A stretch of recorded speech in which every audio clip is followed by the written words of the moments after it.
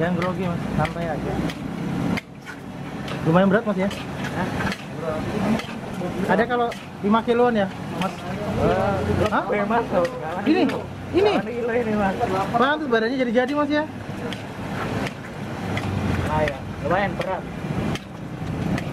Tapi kalau lebih berat menghadapi kenyataan. Menghadapi kenyataan. Iya. Kalau ini apa mas? Ini ayam, ayam cincang. Ini ayam cincang ya? Iya, sama jeroan.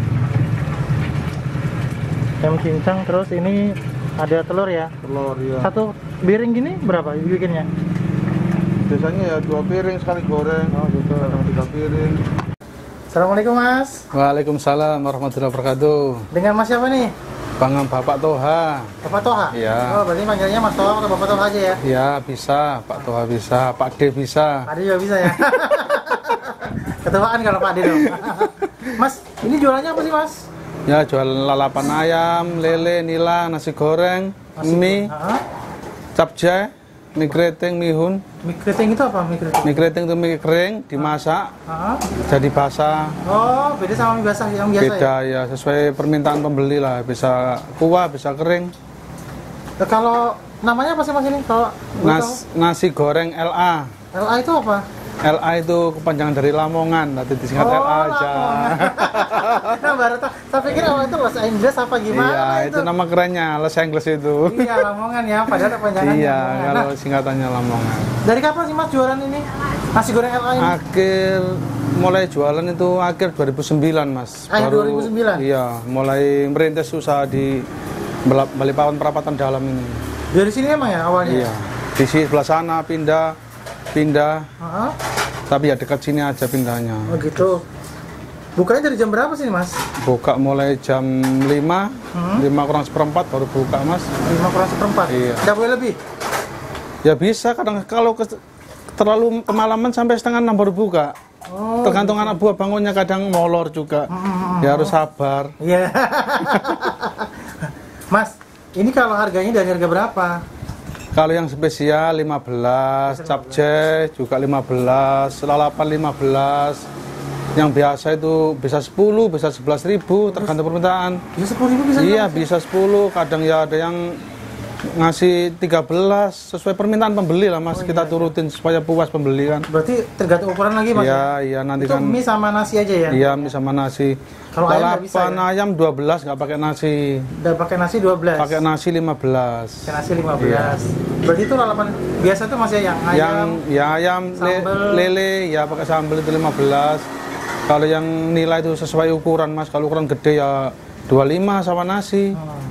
Kalau yang agak kecil ya 20 sama nasi.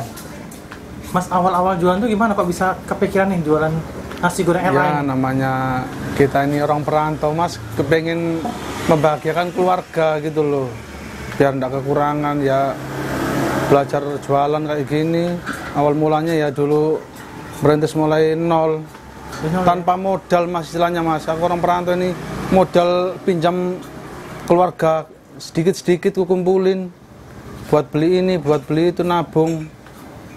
Soalnya dari niat merantau itu nggak ada modal gitu loh. Modalnya cuma modal nekat.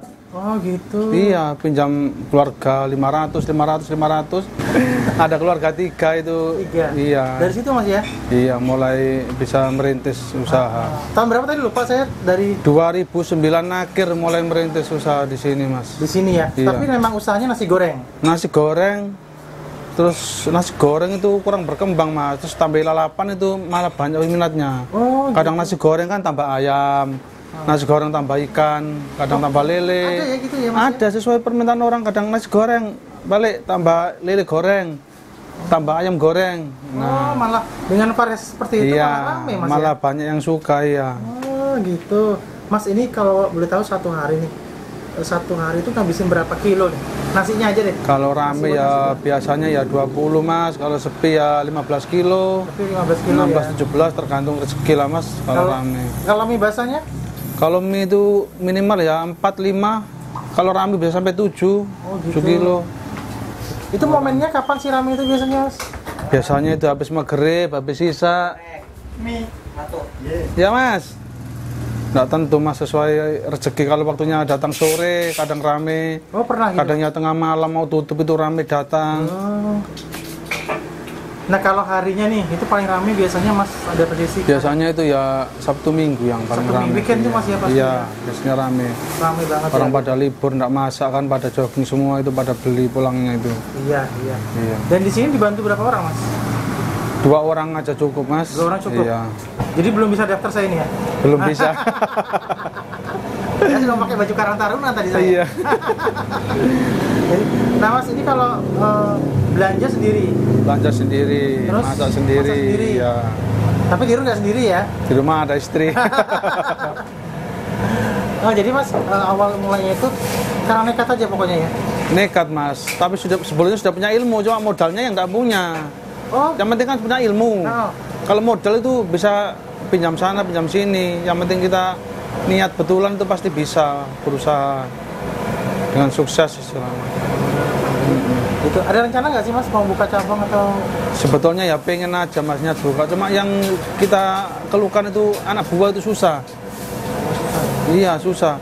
Nanti kalau sudah pinter dia nanti pulang minta kawin ditinggal kan Ah. sayang nanti gak ada yang nerusin Ah, kadang dia sudah punya istri buka usaha sendiri Iya iya betul. itu sudah Jadi itu kendalanya masih kendala iya itu ya pegawai itu ya. Mm-mm. Nah tapi memang ada rencana padahal ya. pengen sebetulnya cuma ya itu loh kendalanya itu kalau ditinggal anak buah Suka dukanya apa sih mas eh, jualan ini? suka dukanya Awal-awal itu mas ya perlu perjuangan lah mas namanya mulai merintis mulai nol itu pembeli itu belum pada tahu terus perapatan kan masih sepi dulu Iya iya. jualan itu semalam itu masih mulai harga 7000 Dulu ya. iya Nasi berapa kilo dulu habisnya? 7 kilo 8 kilo ya nyampe paling banyak 10 kilo iya dulu masih sepi mas itu semalam dapat 300 kadang 400 ribu Sekarang nih. itu kotornya Iya kota omset kan? iya kotor itu Itu masih kotor. sepi-sepinya Zaman itu. dulu mas ya. iya Itu sendirian Masih berarti ngerjain. perlu perjuangan pertama sendiri terus berdua pernah berdua terus jalan sepi sampai tidak bisa gaji anak buah Pernah kejadian? pernah akhirnya anak buah pulang kan kasihan kan Iya. daripada nggak bisa gaji kan terus anak buah pulang ke Jawa terus aku jualan sendiri sampai alhamdulillah berhasil Alhamdulillah. Mm-mm. Tapi sekarang jauh mas ya sama yang sebelumnya ya. ya yes, alhamdulillah mas bisa nyukupi keluarga. Selisihnya itu eh, lima, lima kali lipat apa anda nih? Atau sepuluh ya kali lipat dari yang, segitulah yang tergantung tadi? Gusti Allah aja yang ngasih Iya. berapa ya yang penting cukup lah cukup sudah mas ya? Cukup. Kalau sekarang lebih dari cukup? ya kasih mas ya alhamdulillah cukup bisa nuruti keinginan lah syukur-syukur kalau bisa nanti bisa umroh. Ya kan kalau ada rezeki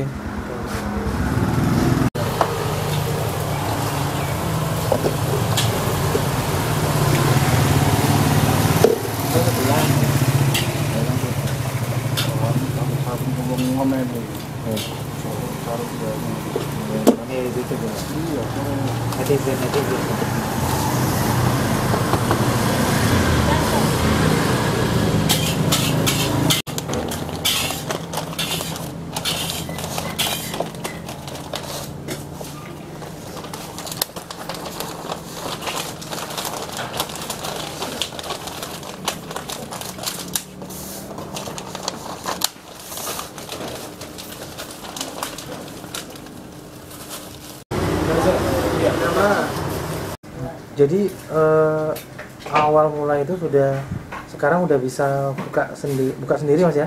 Itu Iya. bisa punya tempat sendiri kan? Ya alhamdulillah bis- bisa beli rumah kecil-kecilan lah mas biar nggak ngontrak. Kalau ngontrak itu sedihnya apa? Kalau kita pindah-pindah bawa barang gitu loh.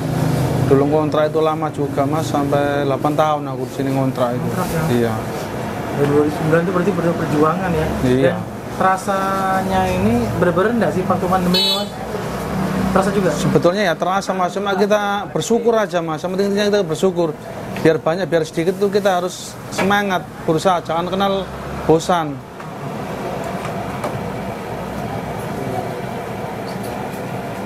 Mas ada nggak sih saran-saran buat teman-teman nih yang baru mulai usaha? Ya untuk teman-teman yang mau memulai usaha jangan takut atau jangan gampang bosan lah motivasinya itu.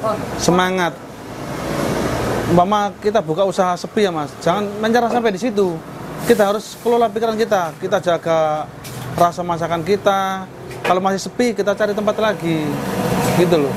Dulu di sini sempat buka juga mas. Kalau sepi harus cari tempat lagi yang ulahnya agak rame gitu loh. Pindah ya mas ya? Iya, kadang kan kita nggak tahu mas. Rezekinya kadang ada yang di sini, kadang ada yang di selatan, di barat, di utara kan tergantung kita mau memulai usaha dengan ikhlas gitu loh untuk keluarga. Alhamdulillah mas sekarang udah nemuin sumbernya sini. Ya alhamdulillah lah mas di sini sudah sekitar 11 tahun, 12 tahun berjalan di sini. Alhamdulillah ya. Benar-benar Dan luar netap di sini ya alhamdulillah lah. Jadi tinggal ini untuk usaha aja mas ya? Rumah di sana ya? Ya rumah di dalam. Suka dukanya itu mas kalau kita nggak sukses itu mas kita itu gimana ya disepelekan orang dari dulu kamu kok begitu begitu aja kayak nggak ada peningkatan gitu loh. Makanya kita harus lebih semangat biar nggak dihinakan orang gitu loh. Apalagi jauh-jauh merantau dari Jawa ke sini mas. Luar biasa mas. Iya. Lamongan mas ya? Lamongan.